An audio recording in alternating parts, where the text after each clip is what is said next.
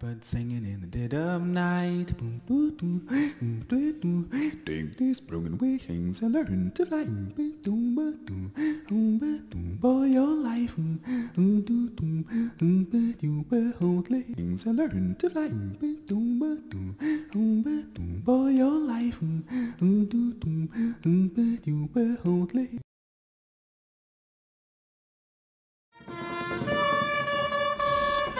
W latach 1618-1648 trwała w Europie wyniszczająca wojna trzydziestoletnia. Jedną z czołowych postaci tego konfliktu był bez wątpienia Albrecht Wallenstein, który stanął po stronie cesarza. Po bitwie pod Białą Górą zajął część ziem protestanckich. Jego nowe posiadłości utworzyły pokaźne terytorium. Po serii sukcesów militarnych w latach 1622-1625 Wallenstein został księciem Frydlantu. Wkrótce utworzył on armię liczącą 50 tysięcy żołnierzy. Stanowiła ona drugą siłę wojskową armii habsburskiej, obok sił księcia Tilly. Po rozbiciu sił protestanckich Mansfelda pod Dessau Wallenstein oczyścił w roku 1627 Śląsk z niedobitków jego armii, a następnie przyłączył się do Tillego, który walczył z Chrystianem Duńskim. Wkrótce Wallenstein otrzymał księstwo Mecklenburgii za pokonanie Duńczyków pod Wołogoszczą. Po wprowadzeniu przez cesarza edyktu restytucyjnego do wojny przystąpiła Szwecja. Po klęsce Tillego ze Szwedami pod Breitenfeld oraz nad rzeką Lech i zajęciu przez Szwedów Monachium w 1627 roku cesarz ponownie zwrócił się o pomoc do Wallensteina. W 1632 roku doszło do nierozstrzygniętej bitwy pod Litzen, gdzie zginął król szwedzki Gustav Adolf. Po tej bitwie Wallenstein wycofał się na leża zimowe do Czech. Po bitwie pod Steinau gdzie odniósł zwycięstwo, przystąpił do rozmów z protestantami, co zaniepokoiło cesarza, który zaczął podejrzewać go o zdradę i kazał go zamordować. Stało się to w Chebu w 1634 roku, gdzie Wallenstein został zabity przez oficerów wiernych cesarzowi.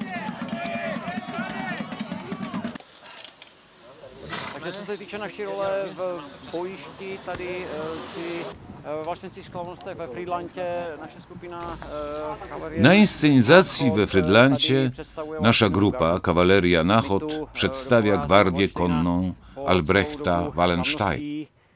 Jak při průvodech, tak právě v bitvě a v té bitvě Asystujemy jemu w pochodzie przez miasto, jak i w bitwie.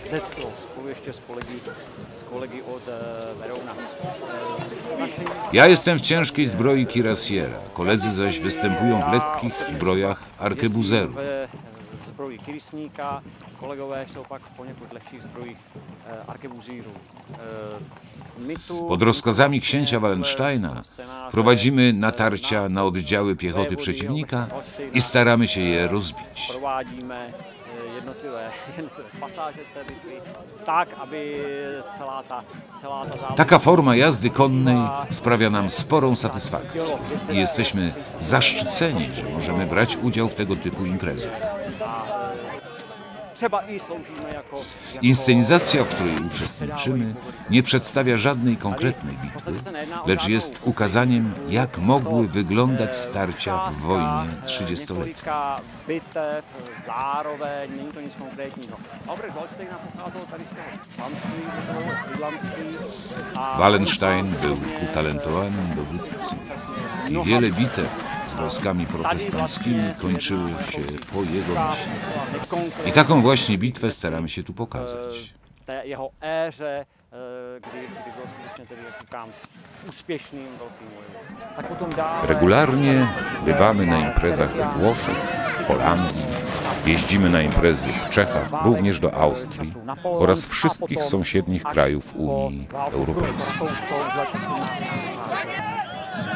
Co říct eh, o eh, všichni Nasza grupa zajmuje się nie tylko uzbrojeniem armii austriackiej, ale prezentujemy się również jako austriaccy huzarzy z wojny siedmioletniej i pruscy huzarzy z wojny prusko-austriackiej z 1866 roku. Trenujemy wspólnie, używamy broni czarnoprochowej. Nasze konie są ćwiczone, aby nie bały się salw armatnych, ognia. Nasza grupa powstała w 2005 roku. poslouchal a následoval tam, je potřeba. Studiujemy materiały źródłowe, według których przygotowujemy nasze uniformy. Mamy u nas w grupie rymarza, robi epokowe siodło. Studujeme materiály, podle kterých se potom připravují uniformy. Studujeme ale i Głównym naszym mottem jest człowiek i koń. Przygotowujemy się przez cały rok, jak najlepiej się prezentować na tego typu inscenizacjach. E, koní.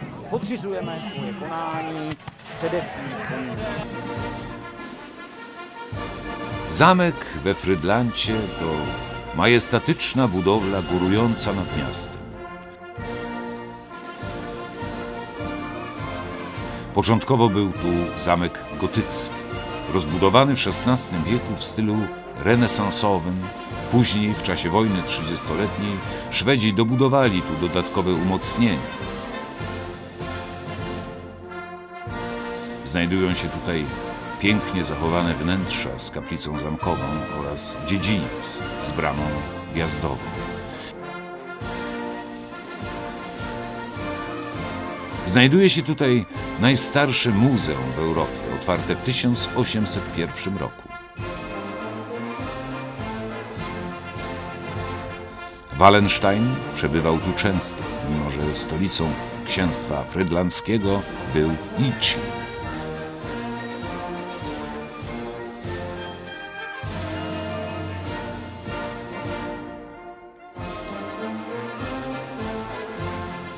Sam zaś w Pradze kazał wybudować sobie nowy pałac. Samo miasto Frydland posiada piękną barokową zabudowę wraz z rynkiem.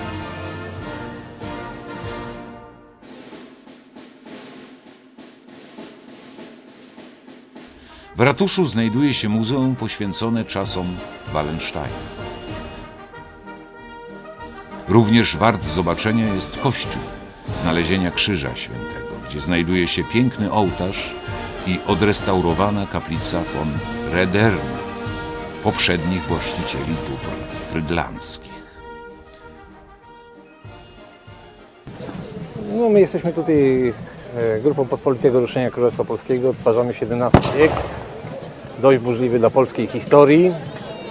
Jest to grupa, która się charakteryzuje dużą otwartością na uzbrojenie, na sprzęt, wyposażenie, ze względu na to, że polska szlachta stawała jako ta ostatnia linia oporu e, na różne sposoby. Na początku XVII wieku to były poczty zorganizowane, potem były dzielone na chorągie pod względem uzbrojenia, no a potem to już było dość różnie. Przy takim poczcie szlachcica była na przykład grupa piechoty polsko-węgierskiej, której tutaj mamy elementy, czy ferezje, szable. Do tego są jeszcze musz, muszkiety, które za chwileczkę też pokażemy z zamkiem lądkowym oraz i zamki skałkowe, pistolety krótkie, w związku z inną taktyką walki. E, W tej formacji też walczyli i husarze, i pancerni, i wszelkiego rodzaju brać szlachecka, która była dość uboga, więc występowała z berdyszem, często z rabciami zrobionymi ze sznura, niekoniecznie jedwabnego, ale z poczuciowe. Mało tego, jest to formacja taka, która pozwala uczestniczyć aktywnie kobietom, ponieważ jak nie było mężczyzny w pospolitym ruszeniu, kobiety mogły też brać, a właściwie musiały brać rocznicę i stawiać na polu walki. No tutaj na Frynlandzie mamy mniej zaszczytną rolę, bo jesteśmy najemnikami po stronie króla szwedzkiego. Jest to z tego okresu, kiedy e, po e, zajęciu naszej ojczyzny przez e, Gustawa Adolfa część Polaków polskiej jazdy, polskiej piechoty przeszła na jego stronę i tam walczyła jeszcze długi okres czasu jako wojska zaciężne, nawet po powrocie Jana Kazimierza. Więc tutaj robimy jako wsparcie dla e, króla szwedzkiego Jesteśmy zaproszeni przez grupę czeską. No i zobaczymy, jak się losy potoczą. Pewnie dzisiaj zdobędziemy zamek, ale jutro z niego zostaniemy stanowczo wyparci przez wojska austriackie. Chwałą i dumą polskiego wojska w XVII wieku była husaria, ciężko zbrojna jazda, która odnosiła sukcesy w takich bitwach jak pod Wiedniem, Kirchholmem, Chocimiem czy Kłuszynem. Była wyposażona w kopie, szyszaki, pancerz, nierzadko skrzydła oraz nosiła tygrysie lub lamparcie futra. Na konie nałożone były efektowne czapraki. Podstawową jednostką organizacyjną husarii była chorągiew, która liczyła od 100 do 180 jeźdźców. Chorągwią dowodził rotmistrz. W szczytowym okresie w armii polskiej było 8 tysięcy husarzy. Dzięki swojemu impetowi i ruchliwości potrafiła rozbijać formacje zachodniej piechoty i jazdy, które nastawione na walkę na broń palną nie mogły powstrzymać jej szarż. Husarzami zostawali tylko najbogatsi szlachcice, których było stać na kilka koni oraz na drogie uzbrojenie i wyposażenie. Ze względu na nietypowe uzbrojenie i taktykę husaria jest zaliczana do najskuteczniejszych formacji wojskowych w dziejach kawalerii. Dopiero początek wieku następnego przyniósł stopniowy zanik siły bojowej tej formacji, który związany był z ogólnym kryzysem państwa, jak i stopniowym ubożeniem szlachty. Przyjmuje się, że ostatnie wykorzystanie tej formacji w konflikcie zbrojnym miało miejsce 19 lipca 1702 roku w bitwie pod Kliszowem.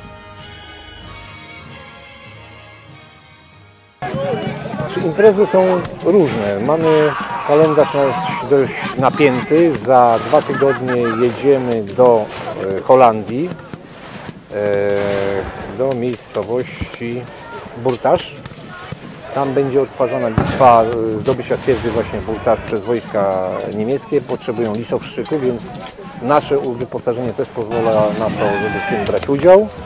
Potem jedziemy na Wejherowo, potem jedziemy na Gniew, Je- jedziemy na, prawdopodobnie na Zamość, potem jedziemy jeszcze raz do Czech jako lisowszycy na, mm, do, pod e, Brno. Także grafik mamy praktycznie co dwa tygodnie mamy w kalendarzu wyjazdu albo do Polski, albo poza granice kraju. Mamy tutaj, jeżeli chodzi o piechotę węgierską, yy, bardzo e, różny styl walki, dlatego że piechota węgierska, polsko-węgierska walczyła w, e, przeważnie w formacji 10 szeregów na 10 i stosowała napad ogniowy i wycofanie ogniowe. Natomiast nie miała dobrej broni defensywnej, więc częściowo musiała sobie robić albo szablami radę potem dawać radę, albo dawać radę e, małymi siekierkami, toporkami lub berdyszami. Berdysze też notabene później wyszły z użycia. Także to jest ta część. Druga część to jest tak zwana taktyka trzech szeregów, czyli y, towarzysza i jego pocztowych. Czyli dobrze uzbrojony towarzysz szlachcic miał dwóch pocztowych, on prowadził, ogień, on prowadził natarcie, udzielano mu wsparcia e, tylko przy ładowaniu e, muszkietów. Lub też e, był też taki szyk stosowany, że najpierw strzelały poczty ciężko e, zbrojne, przechodziły do tyłu, potem szły następne poczty lekko uzbrojonych też muszkietów, a na samym końcu najlżej uzbrojeni biegli z e, pistoletami na osłaniających pikinierów. Także no, taktyki walki były różne. Przeważnie szlachta starała się walczyć konno, ale pospolite ruszenie też i w Wielkopolsce wyżynęło prawie 2000 Szwedów podczas oblężenia miasta. Także miała i pospolite ruszenie w XVII wieku jeszcze swoje chwalebne i zwycięskie chwile.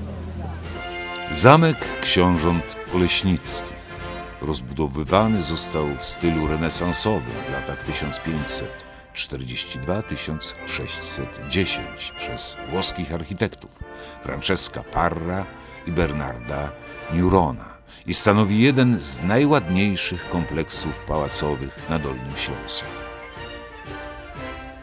Okres świetności zamku przypadał na czas rządów potomków czeskiego króla Jerzego z Pobiebradów. Dodatkowym elementem obrony był zespół fortyfikacji bastionowej zbudowany w stylu włoskim. Równie piękny i okazały jest ratusz w Poznaniu.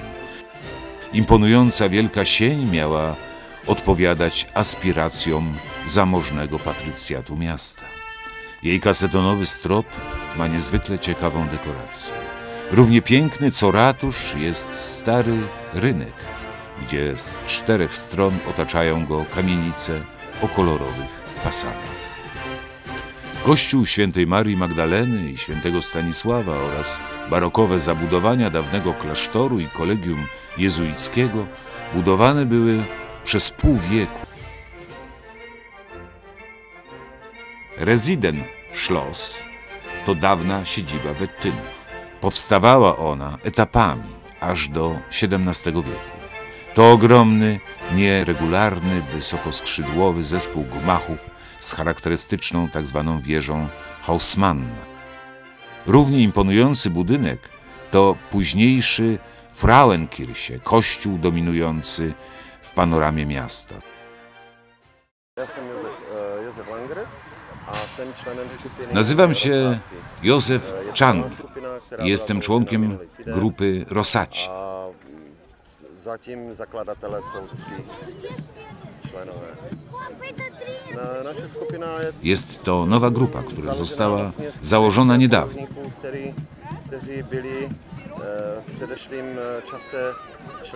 Byliśmy wcześniej członkami innych grup, ale postanowiliśmy założyć nową, która bardziej spełniałaby nasze oczekiwania.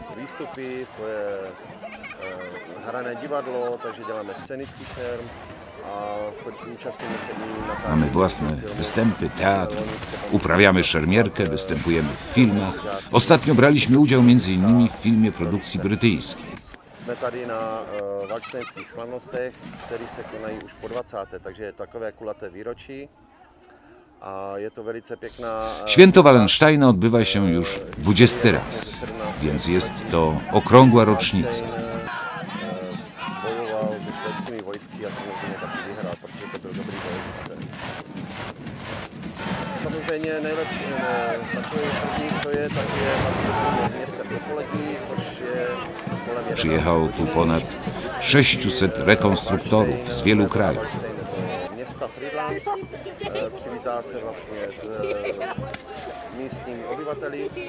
A potom Mamy tutaj pochody przez miasto za dnia, jak również wieczorem.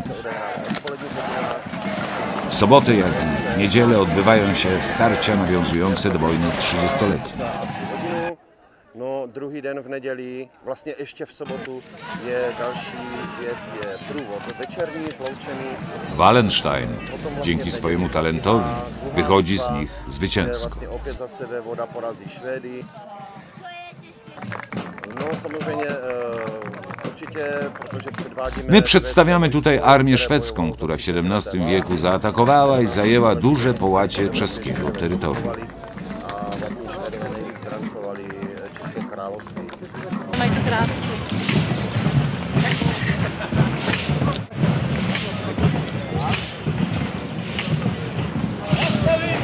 Ja przyjechałam z Polski na Slavnosti we Frydlandzie.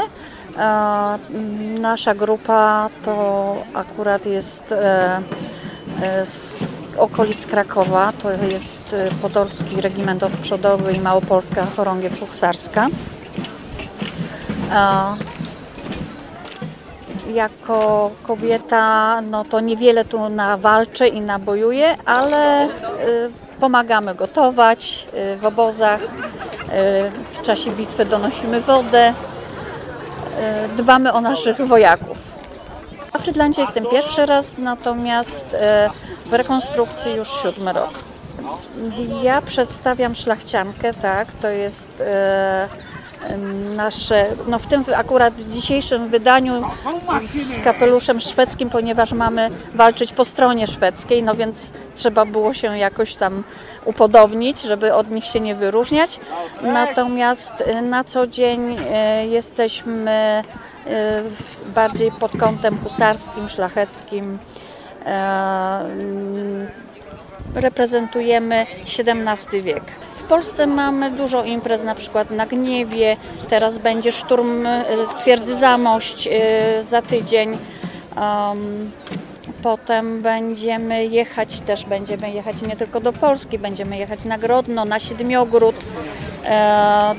do Rumunii. Bogaty program jest w tym roku bardzo. Tylko czasu mało. Pałac Vaux-le-Vicomte został wybudowany na zlecenie ministra finansów Ludwika XIV Nicolasa Foeta. Wraz z parkiem zaprojektowanym przez André Lenotre należy do najpiękniejszych założeń ogrodowo-parkowych we Francji. Król pozazdrościł pałacu i kazał ministra zdymisjonować i uwięzić.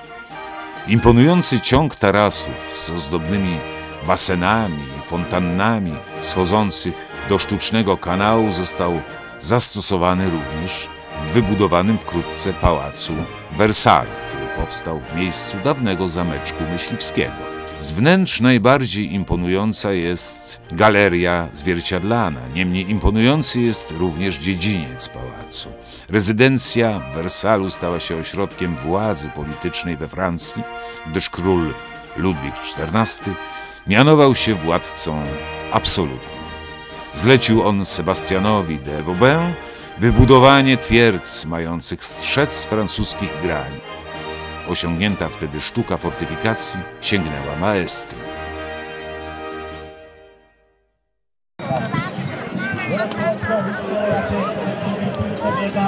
Tu jest polskiego szlachcica strój. Yy, Na to jest narzucona yy, ferezja rotmistrza piechoty polsko-węgierskiej, formacji lekkiej. No i w tej formacji po prostu stosujemy ją to przede wszystkim, żeby się na bitwie łatwiej odnaleźć. I to jest właśnie taka ferezja rotmistrzowska. Do tego jest szabla z obłękiem.